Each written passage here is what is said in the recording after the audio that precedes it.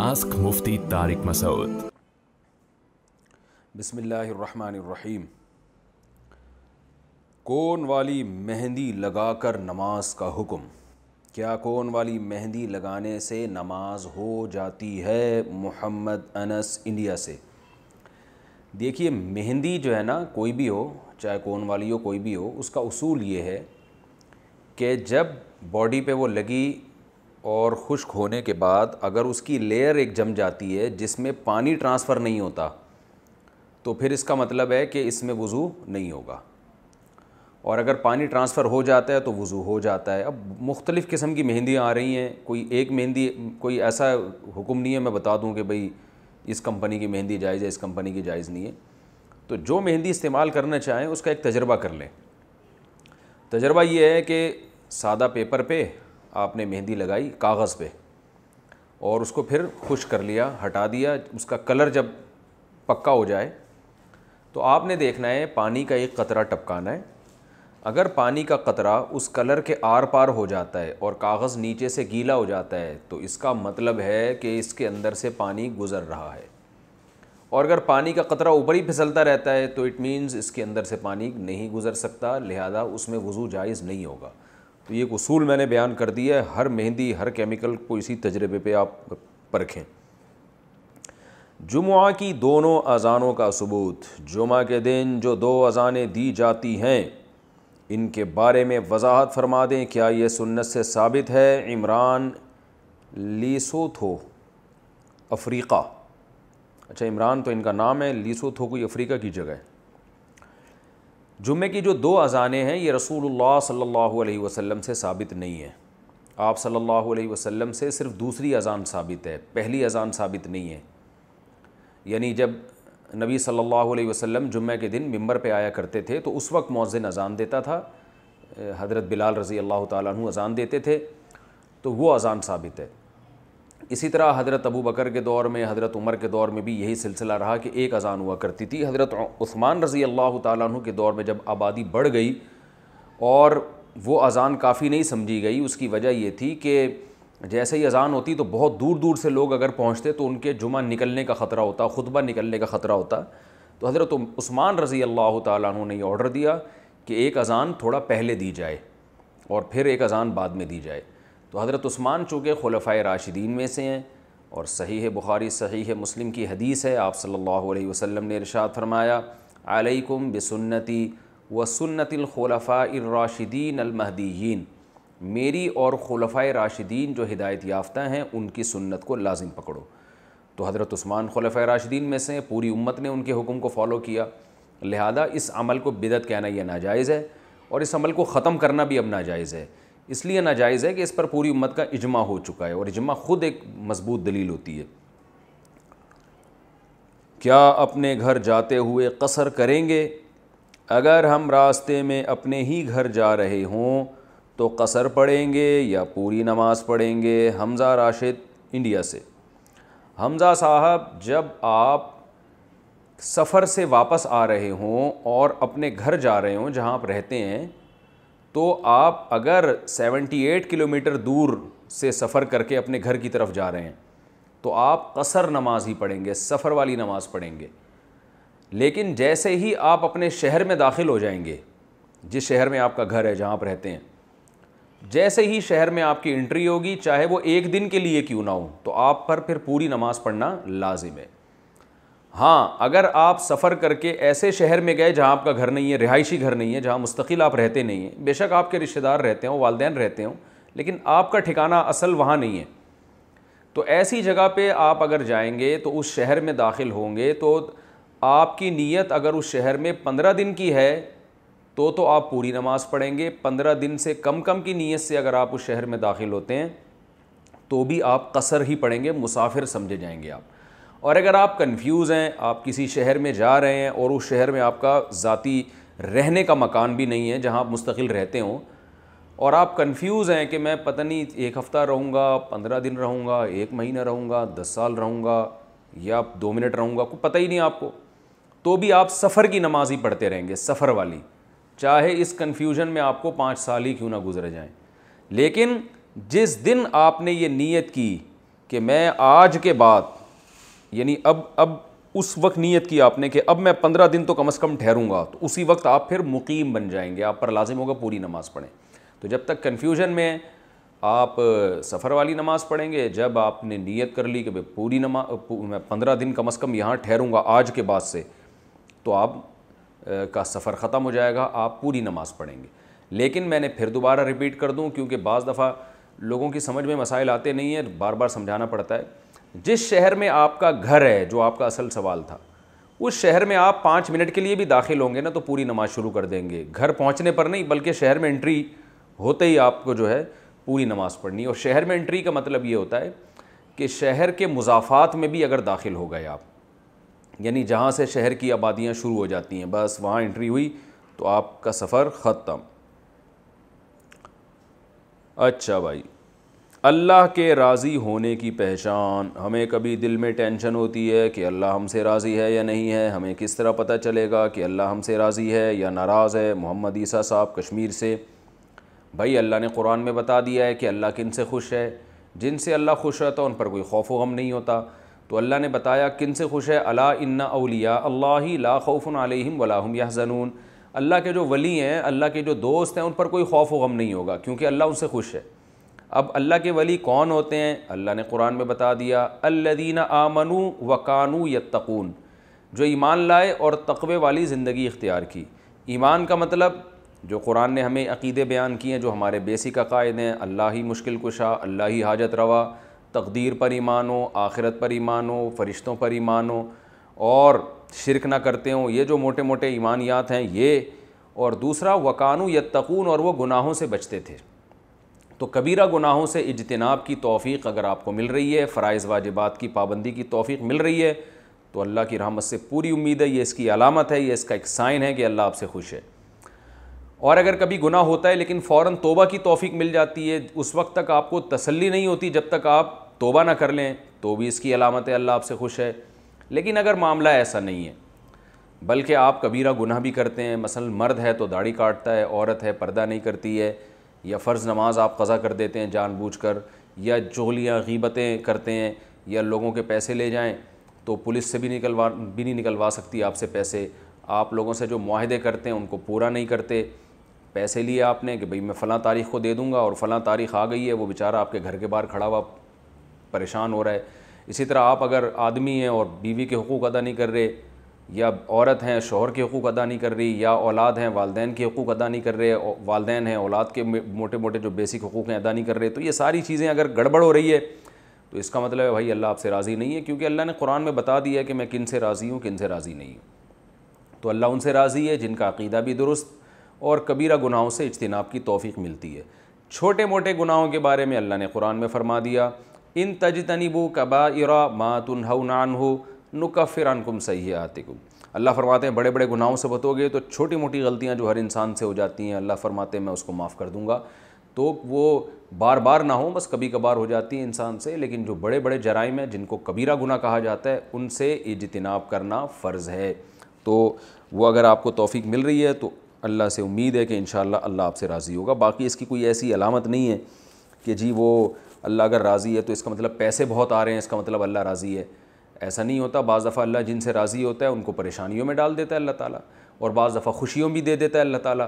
तो ये दुनिया की खुशियाँ, दुनिया की टेंशनें, दुनिया की परेशानियाँ, ये कतन इसकी अलामत नहीं है कि ना परेशानी इसकी अलामत है कि अल्लाह आपसे नाराज़ है, ना खुशी इसकी अलामत है कि अल्लाह आपसे खुश है। अल्लाह आमाल को देखता है। रसूलुल्लाह सल्लल्लाहु अलैहि वसल्लम ने इरशाद फरमाया इन यंजुरु इला सुवरिकुम, वला इला अमवालिकुम वला की यंजुरु इला अमालिकुम सही हदीस है। आप सल्लल्लाहु अलैहि वसल्लम ने फरमाया, अल्लाह तुम्हारी शक्ल को भी नहीं देखता, अल्लाह तुम्हारी दौलत को भी नहीं देखता, अल्लाह तुम सिर्फ़ तुम्हारे अमल को देखता है। और इला कुलूबिकुम भी है कि तुम्हारे दिल को देखता है और तुम्हारे अमल को देखता है। अच्छा भाई, क्या जन्नत में वालदेन का साथ होगा? शब्बीर साहब लाहौर से पूछते हैं। अगर कोई जन्नत में अपने वालदेन की ख्वाहिश करता है, जो दुनिया में उसके वालदेन थे तो क्या इसकी ख्वाहिश पूरी होगी? यानी वो ये ख्वाहिश करता है कि वालदेन मेरे साथ हों? जी, बिल्कुल पूरी होगी। कुरान मजीद में अल्लाह का इरशाद है, वल्लदीन आमनु व तबात हम ज़ुर्रियत हम बी ईमान अलहक ना बिहिम ज़ुर्रियत हम वमा अलतना बिहिम मिन अमलहिम, वमा अलतना हम मिन अमलहिम मिन शई। कि अल्लाह फरमाते हैं, जो ईमान लाए और उनके वालदेन भी ईमान वाले थे, उनकी आल औलाद भी ईमान वाली थी। उनकी ज़रूरीत ने ईमान में अपने वालदेन को फॉलो किया तो हम वालदेन और औलाद को क़्यामत के दिन जन्नत में जमा कर देंगे। तो और किसी के अमल में कोई कमी भी नहीं वाक़ होगी कि किसी को हम ये कहें कि अभी तुम क्योंकि हम तुम्हारे औलाद को तुम्हारे साथ लेकर आ रहे हैं तो अब तुम्हारी इतनी नेकी हम कम कर देंगे, ऐसा भी नहीं है। तो ये अल्लाह की रहमत है, आप अपने वालदेन के साथ रहना चाहेंगे, जो कि बड़ी अच्छी ख्वाहिश है। तो अल्लाह इस ख्वाहिश को इन जन्नत में पूरी करेगा। लेकिन फ़ोकस इसको करना चाहिए कि ऐसे आमाल हों कि हम जन्नत में चले जाएँ। ये अहम चीज़ है। जन्नत में गए तो जो चाहेंगे होगा। हराम और नाजायज़ में फ़र्क साकिब अज़ीज़ इंडिया से। हराम और नाजायज़ में क्या फ़र्क है? देखें, हर नाजायज़, हर हराम नाजायज़ होता है, लेकिन हर नाजायज़ हराम नहीं होता। हराम का लफ्ज़ ये फ़ुकाहा की एक अतलाह है। यानी वो चीज़ जिसकी नाजायज़ होने की दलील बहुत क़वत से साबित हो, जिसमें दो राय नहीं हो सकती, उसको हराम कहा जाता है। यानी ये ज़रा गाढ़ा लफ्ज़ है, सख्त लफ्ज़ है। और जो वैसे मुश्तहिद की नज़र में एक चीज़ अलाउ नहीं है इस्लाम में तो वो मुश्तहिद उसको नाजायज़ कह देते हैं फ़ुका उसको नाजायज़ कह देते हैं। यानी ऐसी चीज़ है जिसकी परमिशन नहीं है आपको। तो हराम का लफ्ज़ सिर्फ़ एक थोड़ा सा सख्त लफ्ज़ है, सख्त लफ्ज़। सख्त लफ्ज़ का मतलब ये है कि ये शरीयत ने इस बारे में बहुत वजाहत से बयान कर दिया है। जैसे शराब है, जैसे नमाज़ का छोड़ना है, जैसे जना है। अब इसमें यह तो नहीं होता ना कि कोई इख्तलाफ फ़ुकहा का, ऐसा कुछ नहीं है। नाजायज़ का लफ्ज़ थोड़ा सा हम, हल्का है। मफहम दोनों का एक ही है। ये नाजायज़ का मतलब भी not allowed to do this और हराम का मतलब भी you are not allowed to do this तो दोनों का मतलब यही है कि आपको इसकी परमिशन नहीं है। अतलाह टर्म का फ़र्क है कि हराम जब सख्त, बिल्कुल सख्ती होगी उस मामले में तो उसको हराम से ताबीर किया जाता है। मसनू दांत लगे हों तो वज़ू का हुक्म। जो लोग मसनू दांत फिक्स फिक्स करवा के लगवाते हैं, इससे वज़ू पर तो कोई फ़र्क नहीं पड़ता। वज़ू हो जाता है या नहीं? ख्वाजा साहिब, गुजरात, पाकिस्तान से। जनाब, अगर मसनू दांत ऐसा लगाया है कि उसका अब निकालना बहुत मुश्किल है। बिल्कुल फ़िक्स कर दिया है, जैसे कि डेंटिस्ट बाज़ दफ़ा दांत लगा देते हैं। या दांत पे ऐसा हॉल चढ़ा देते हैं कि उस हॉल को उतारना आसान नहीं होता तो फिर उसी पे पानी बहाने से वज़ू भी हो जाएगा, गसल भी हो जाएगा। वज़ू तो वैसे भी सिर्फ़ चेहरा धोने से भी हो जाता है, उसमें कुल्ली फ़र्ज़ नहीं है, लेकिन सुन्नत मौक़दा है। लेकिन गसल जो है, वो हो जाएगा। लेकिन वो दांत अगर ऐसा है कि आसानी से आप जब चाहें हटा लें, जब चाहें निकाल लें, जैसे मैं एक वो अक्सर चुटकला सुनाता हूँ ना कि एक गुलकार बूढ़ा हो गया बेचारा। जब वो गाना गाता था तो उसकी बत्ती सी गिर जाती थी। फिर बेचारा उठा के लगाता, फिर वो गाना गाता।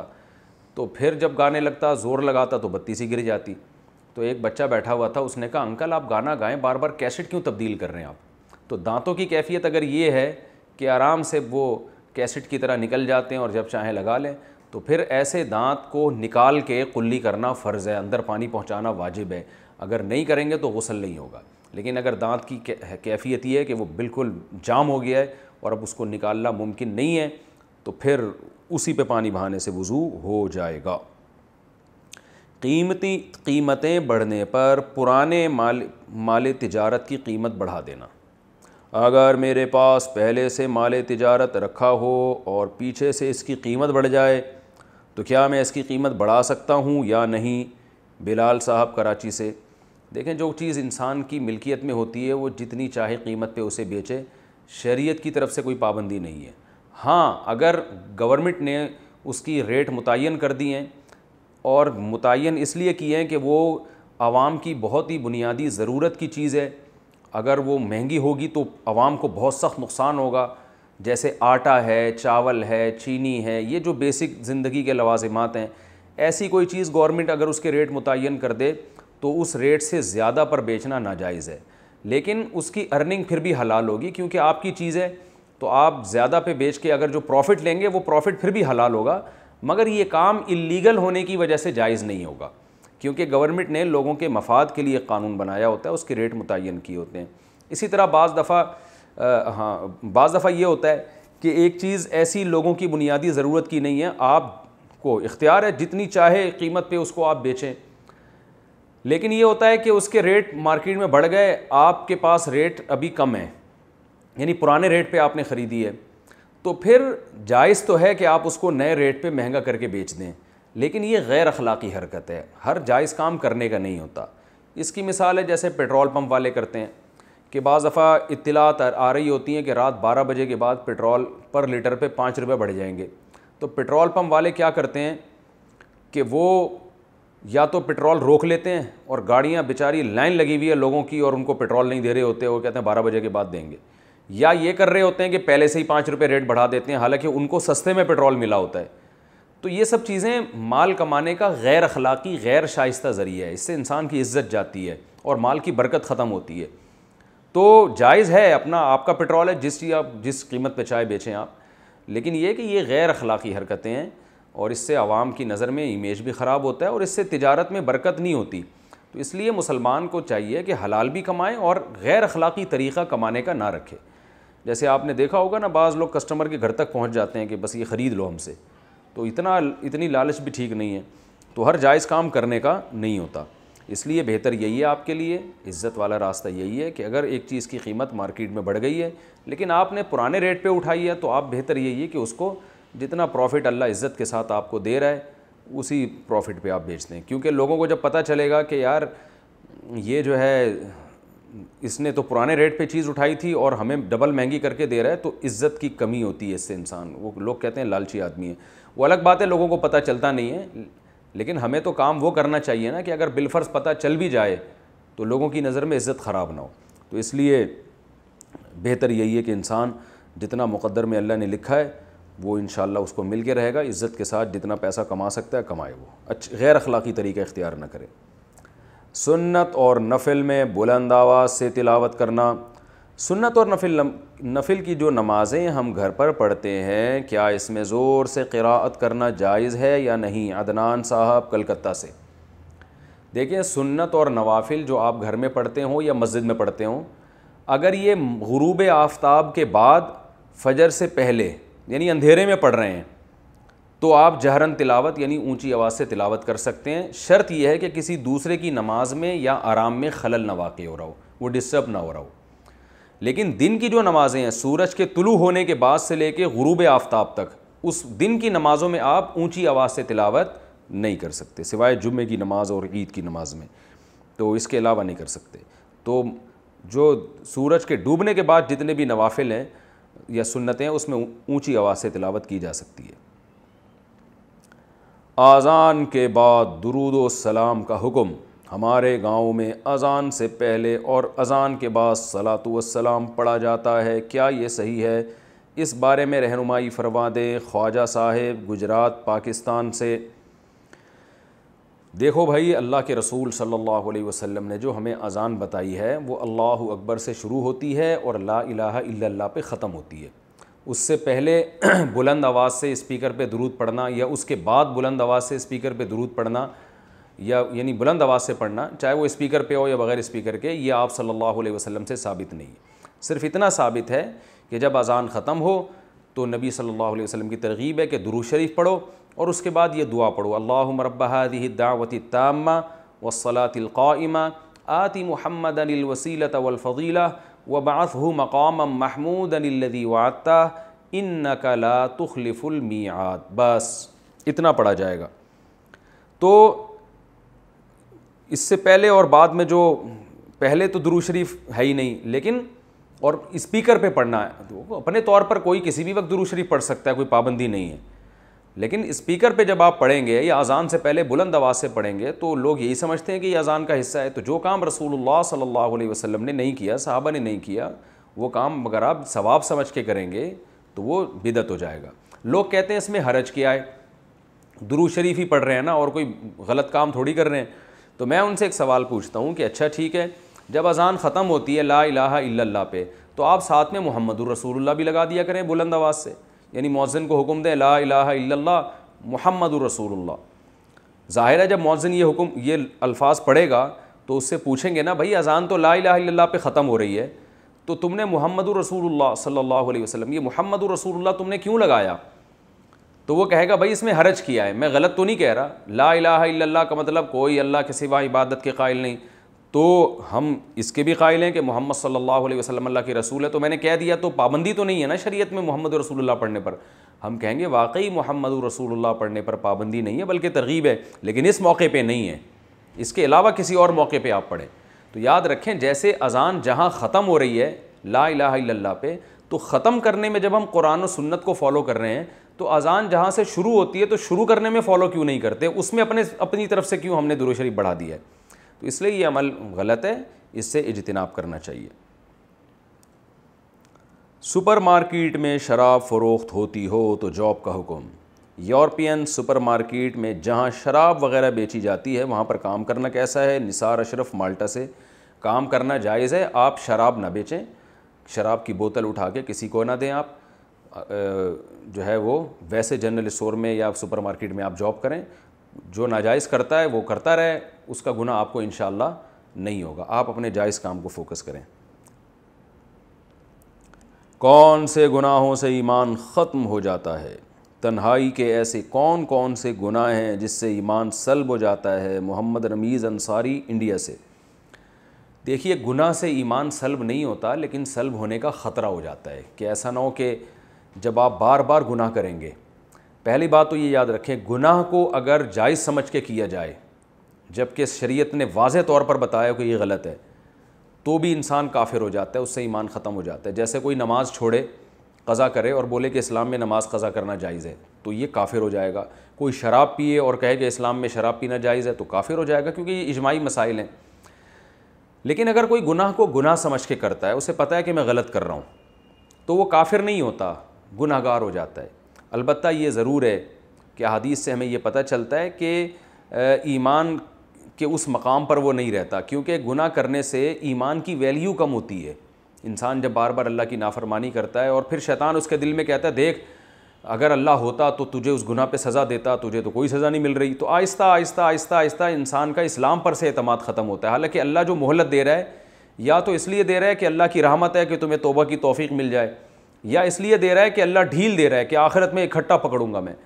तो या तो ये ढील की वजह से मोहलत मिल रही है या अल्लाह की रहमत की वजह से। ये अल्लाह का कायदा है कि बसा अवकात वो फ़ौर नहीं पकड़ता गुनाह पे। मोहलत देता है। लेकिन शैतान वसवसे डालता है। फिर गुनाह आसान हो जाता है इंसान की नज़रों में। तो इससे इस्लाम की वैल्यू ख़त्म होती है। तो बाज़ दफ़ा ऐसा हो जाता है कि फिर मौत कुफर पे होती है। इंसान वाज लफ्ज़ों में इस्लाम का और अल्लाह रसूल का इनकार कर देता है। तो गुनाह कोई भी गुनाह ऐसा नहीं है जिससे ईमान ख़त्म हो जाए।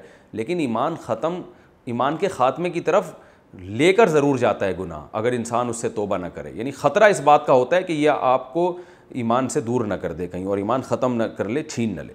तो ये हर गुनाह में ताकत है। जो जितना बड़ा गुनाह होगा, उसमें ये ताकत उतनी ही ज़्यादा होगी। निकाह के कितने अरसे बाद रुखसती करें? क्या निकाह के दो साल बाद रुखसती और वलीमा कर सकते हैं? क्योंकि बच्चों की उम्रें अभी कम हैं और वो पढ़ रहे हैं। हैं भाई, जब निकाह ही नहीं हुआ तो बच्चे कैसे हो गए? अब्दुल गनी साहब इंडिया से पूछ रहे हैं। दोबारा सवाल पढ़ता हूँ, क्या निकाह के दो साल बाद रुखसती और वलीमा कर सकते हैं? क्योंकि बच्चों की उम्रें अभी कम हैं और वो पढ़ रहे हैं। अब्दुल गनी इंडिया, मेरा ख्याल है इनका मतलब ये है कि वालदेन पूछ रहे हैं कि हमारे बच्चे अभी पढ़ रहे हैं तो हम अपने दूसरे बच्चे के निकाह में ताख़िर कर सकते हैं। यानी रुखसती में ताख़िर कर सकते हैं। देखें, निकाह भी जल्द करना चाहिए, रुखसती भी जल्दी करनी चाहिए। कोई वाकई शरी उज़र हो तो रुखसती में ताख़िर में कोई हर्ज नहीं है। तो ये जो मसला है ना कि बच्चे पढ़ रहे हैं तो बच्चों के पढ़ने तो निकाह में याद रखें, पढ़ाई में रुकावट नहीं है। निकाह कर दें, बच्चा पढ़ता रहेगा, बल्कि और अच्छी तरीके से पढ़ेगा। इंसान का बच्चा बन के पढ़ेगा वो। वरना वो यूनिवर्सिटी में कॉलेज में आँख मटक्के करता रहेगा, लड़कियों से दोस्तियाँ लगाता रहेगा उसमें ख्वाहिशात पैदा होती हैं। जो इंसान की नेचर है, आप नेचर से तो नहीं लड़ सकते ना? तो आँख मटक्के करेगा और उल्टी सीधी हरकतें करेगा, पढ़ाई में दिलचस्पी नहीं लेगा। निकाह हो गया तो इन उसकी एक जायज़ ख्वाहिश पूरी हो जाएगी, उसके जज्बात को तस्कीन मिल जाएगी। चौबीस घंटे कोई बीवी की खिदमत में थोड़ी लगा रहता है, लोगों ने पता नहीं क्या बना लिया है। मैंने तो बहुत से लोग देखे हैं जो निकाह के बाद जिन्होंने पढ़ना शुरू किया है। और निका के बाद वो ज़्यादा तरक्की की उन्होंने पढ़ाई में रिसर्च में। ये जितने दुनिया में बड़े बड़े लोग पैदा हुए हैं, सारे कमारे थोड़ी हैं। ये यानी बड़े बड़े लोग जिन्होंने से अल्लाह ने बड़े बड़े काम लिए तो बच्चे पैदा होने के बाद मैं जो आज कल दिन भर इतने मसरूफ़ रहता हूँ और कभी वहाँ बयान, कभी वहाँ बयान, कभी उधर कोई तहकीक, कभी कोई उधर तहकीक तो और इतने सारे असफ़ार तो मैं भी अल्हम्दुलिल्लाह सबको पता है शादीशुदा हूँ, मेरी औलाद है। तो ये हमने अपने दिमागों पर खाम में मुसलत कर ली, एक चीज़ कि निका हो जाएगा तो किसी काम के नहीं रहेंगे। ऐसा नहीं है काम का आदमी बनता ही निकाह के बाद है। निकाह नहीं होता तो किसी काम का नहीं होता सिवाय एक काम के। और वो है, बस हर वक्त दिमाग में उल्टे उल्टे ख्याल तो और वो फेसबुक और व्हाट्सएप और जो कुछ आजकल हो रही तबाही फेसबुक और व्हाट्सएप पे। तो इसलिए आप रसूल सल्लल्लाहु अलैहि के हुक्म को फॉलो करें। या माशर शबाब मन इस्तमिनकुमलबा तफली तजवज जिसमें निकाह की इस्तात है वो कर ले। और अल्लाह का कुरान में हुक्म है अन किहुलयामा मिनकुम। जो बेनिकाह हों, उनका निकाह करा दिया करो। अल्लाह ने ये निकाह के तालीम में अगर रुकावट बन रहे हैं तो ना कराओ, ऐसा नहीं है। निकाह करा दें, अल्लाह से उम्मीद रखें कि इन तालीम में ये चीज़ रुकावट नहीं बनेगी, बल्कि तालीम में, एजुकेशन में मुआविन और मददगार बनेगी ये चीज़। बाकी फ़ी नफसी ही जितनी चाहे ताख़ीर करें, लड़की राज़ी हो अगर ताख़ीर पे, लड़की वाले तो ठीक है। और दोनों राज़ी हों तो बज़ाते ख़ुद कोई फ़र्ज़ नहीं है, निकाह के फ़ौर बाद रुखसती। दस साल ताख़ीर कर दें, बीस साल ताख़ीर कर दें, बुढ़ापे तक ताख़ीर कर दें, कोई गवर्नमेंट की तरफ़ से भी कोई पाबंदी नहीं, अल्लाह की तरफ़ से भी। शर्त यह कि गुनाह से बचत हो रही हो। लेकिन ये काम पसंदीदा नहीं है, मैंने बताया। इस्लाम ने इसको अच्छा नहीं समझा, नापसंद किया है। और आप सल्लल्लाहु अलैहि वसल्लम ने बहुत शदीद तरगीबात दी हैं। इसलिए कहते हैं कि निकाह सुन्नत मौक़दा है। ज़ाहिर है निकाह से मुराद रुखसती वाला निकाह ही है, सुन्नत मौक़दा है। तो ऐसा आदमी काबिल मलामत है, जो निकाह ना करे या निकाह करके उसमें बिला वजह ताख़ीर कर रहा हो। तो सुन्नत मौक़दा यही होती है कि जिसको आप छोड़ दें तो काबिल मलामत हो। यानी मलामत का मतलब लोग चलते फिरते उसको बोलेंगे, भाई, क्या हो गया? तू शादी क्यों नहीं कर रहा भाई? तेरा दिमाग सही है तो मुसलमान है, क्या काफिर है, गैर मुस्लिम है, क्या है भाई? ये तो गोरे करते हैं चालीस चालीस साल की उम्र में, तुम क्या हो गया? तुम तो मुसलमान हो। उसको भी ताने मिलने चाहिए, उसके अब्बा अम्मा को भी मिलने चाहिए। सुन्नत मौक़दा कहते ही इसको हैं कि अगर उसको छोड़ दिया जाए तो काबिल मलामत हो इंसान। तो हराम कबीरा गुना नहीं होगा, लेकिन काबिल मलामत होगा। तो मलामत लोगों को चाहिए कि किया करें, क्या हो गया, ऐसे अभी तक क्यों घूम रहे हो? तो ये है जी। सजदे में दुआ करने का तरीका। सजदे में दुआ किस तरीके से की जाती है, इस बारे में रहनुमाई फरमा दें। रेहान साहब, उत्तर प्रदेश से। सरदे में एक तो अरबी में दुआ की जाएगी। एक बात। नंबर दो, वो दुआएँ जो कुरान और सुन्नत से साबित हैं, वो की जाएँगी। अखपल तरीके से नहीं दुआ की जाएगी क्योंकि सरदा नमाज़ है। नमाज़ का एक हिस्सा है। तो नमाज़ में अखपल तरीके से आप कलाम नहीं कर सकते। तो इसलिए रब्बना तीना फ़ी दुनिया हसनत व फिल आखिरती हसना, ये दुआ पढ़ सकते हैं। पहले तो तीन दफ़ा सुबह रबी आला पढ़ें, उसके बाद जो दुआएँ मांगेगा और हमारे नज़दीक ये नवाफिल और सुन्नतों में फ़र्ज़ नमाज़ में सिर्फ़ सुबहान रबी आला ही पढ़ना चाहिए। और चाहें तो उसको लंबा कर दें आप। लेकिन फ़र्ज़ नमाज़ में भी दुआ मांगी जा सकती है, लेकिन बेहतर ये है कि उसमें सिर्फ़ सुबहान रबी आला, क्योंकि रसूलुल्लाह सल्लल्लाहु अलैहि ने सुबहान रबी आला के बारे में फ़रमाया इज़ आलूहू फ़ी सुजूदिकुम, ये कलिमात अपने सरदों में पढ़ा करो। तो इसलिए फ़र्ज़ नमाज़ में बेहतर यही है कि सिर्फ़ सुबहान रबी आला पढ़ें। लंबा सरदा करना हो तो बार बार पढ़ें आप। रोज़े की हालत में खून दे सकते हैं। क्या रोज़े की हालत में खून अतिया कर सकते हैं? इससे रोज़े पर तो कोई फ़र्क नहीं पड़ेगा। मोहम्मद नौमान हमज़ा पंजाब से। जी, बिल्कुल दे सकते हैं, रोज़े पे कोई फ़र्क नहीं पड़ता। लेकिन इतनी बात ज़रूर है, जब आप खून देंगे तो वीकनेस होती है। इंसान को उस वीकनेस को ख़त्म करने के लिए कुछ खाना पड़ता है फौरी तौर पर तो रोज़ा होगा तो खा नहीं सकेंगे आप। खाएँगे तो कफ़ारा लाजिम हो जाएगा। तो इसलिए बेहतर यही है कि या तो इफ्तारी के टाइम पर दें, ताकि उसके बाद कुछ खा सकें। या आप इतने फंटर हैं पावरफुल हैं कि एक डॉक्टर ने आपको ब्लड को देख के कहा कि भाई आप तो छः बोतलें भी दे दें आपको को, कोई ज़रूरत नहीं है खाने पीने की फिटफाट चल रहे हैं। तो इसलिए ये एक मेडिकल साइंस का मसला है तो डॉक्टर आपको रहनुमाई करेगा। लेकिन रोज़े पे कोई असर नहीं पड़ता खून देने से। ना खून लेने से असर पड़ता है ना खून देने से असर पड़ता है। क्या तिलावत का सवाब मुर्दे को पहुँचता है? कुरान शरीफ का सवाब मुर्दों तक पहुँचता है या नहीं? मैंने कुछ लोगों से सुना है कि इसका सवाब मुर्दों तक नहीं पहुँचता, इस बारे में वजाहत फरमा दें मोहम्मद फ़राज साहब जौनपुर से। इसमें फ़ुकहा का इख्तलाफ है, लिहाजा अगर कोई इसका इनकार करता है कि सवाब नहीं पहुँचता तो भी कोई बुरा नहीं है। दोनों राय हैं और कुरान और सुन्नत में दोनों तरफ़ दलाइल मिलते हैं। जो फ़ुकहा हनफियाँ हैं, उनकी राय यह है कि सवाब पहुँचता है और इसके दलाइल भी बड़े मज़बूत हैं और ये दलाइल मैं दूसरे क्लिप में रिकॉर्ड करवा चुका हूँ। तो मेरा क्लिप मौजूद है, इस इसाल सवाब के दलाइल जो है आप यूट्यूब पर सर्च कर सकते हैं। अभी मैं मुख्तसर ही जवाब दूँगा कि हमारी राय में ये जायज़ है। कुछ ओलमा इसको नाजायज़ कहते हैं और वो भी बड़े मुश्तदीन है फ़ुका हमारी जो फ़ुका हनफियाँ हैं, उनकी राय में ये जायज़ अमल है। तो इसलिए हम इसके